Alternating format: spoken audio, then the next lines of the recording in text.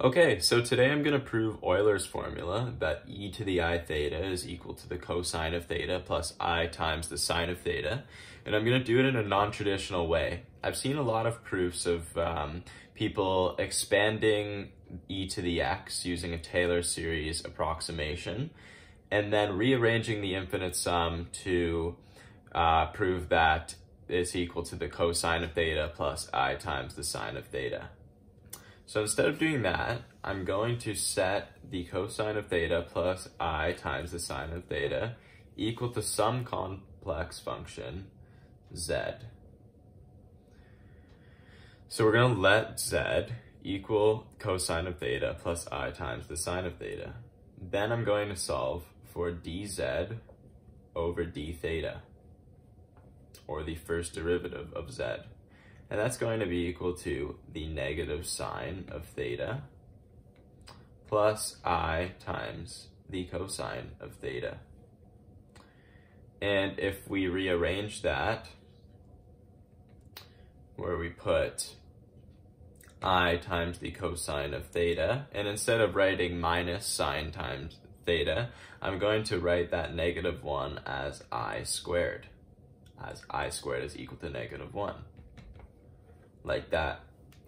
And then I'll factor out the i from both, both terms, and we'll have cosine of theta plus i times the sine of theta, like that. And now this is actually our z right here. So I've just proved that dz over d theta is equal to i times z.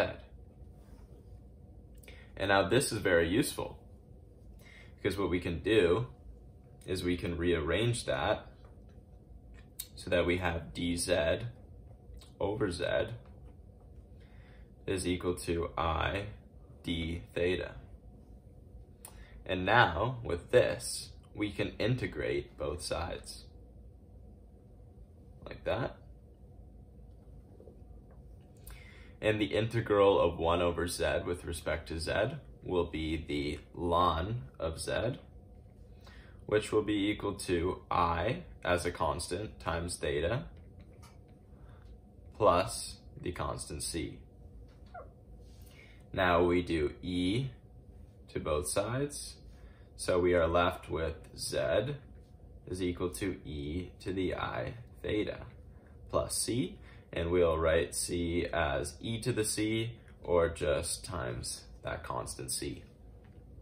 Now we can prove this constant is in fact equal to 1 by substituting in theta equals 0 into z. So if we substitute theta equals 0 into z, then we will get cosine of 0, which is equal to 1, plus i times the sine of 0, which is equal to 0. So that would mean z would equal 1, and e to the i theta will be equal to 1 as well. So that would imply that our c is equal to 1. And that proves that z is equal to e to the i theta, and we know that z is equal to cosine of theta plus i sine theta.